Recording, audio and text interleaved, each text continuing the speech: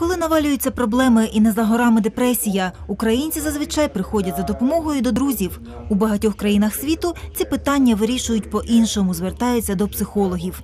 Нині, коли в Україні триває неоголошена війна, багато переселенців та учасників АТО потребують фахової поради.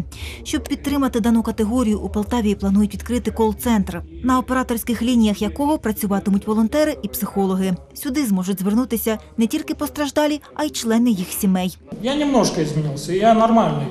А жена, как пример, говорит, слушай, перестань орать, просто перестань орать.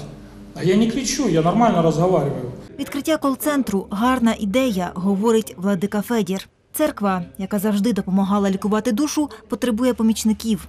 Волонтери команди небайдужих розповідає, готові бути консультантами. За потреби залучатимуть і священнослужителів. Я сам зіштовхуюся з цією проблемою.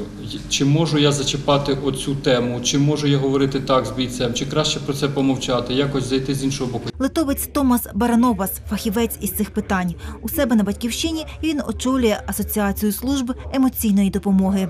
До її складу входить 10 неурядових організацій. Працюють із різними категоріями: дітьми, жінками, молоддю та дорослими. До Полтави Томас приїхав, щоб з'ясувати, наскільки велика потреба у появі кол-центру і хто там працюватиме.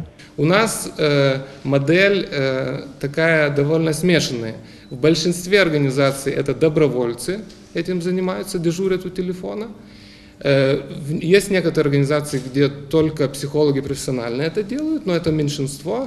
Проект зі створення кол-центру у Полтаві фінансуватиметься здебільшого литовською стороною. Якщо все піде за планом, центр відкриють вже восени цього року. Нині завдання підготувати команду волонтерів. Наши волонтеры, они так и учатся, что они практикуются, практикуются, практикуются, и в какой-то момент мы уже выпускаем их к телефону.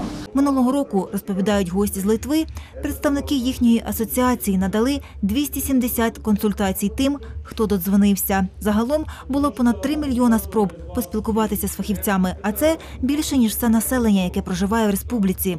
Коли кол-центр емоційної допомоги відкриють у Полтаві, він стане першою в Україні структурою такого рівня і профілю.